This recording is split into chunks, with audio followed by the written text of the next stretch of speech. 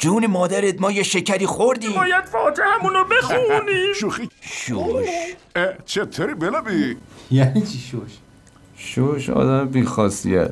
ام باباتون نه نمی‌دونم کجاست. من خودم الان رسیدم ولی من والترم.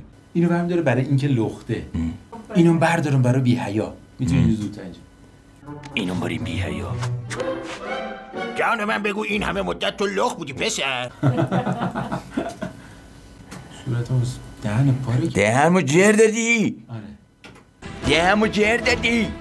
داداش. شب شد و یکی بیخبر اومد. در زد و حیرونم که تو بودی که با چشم سیاد ستاره بارونم که مست دوتا چشات شده. عالی. مرسی.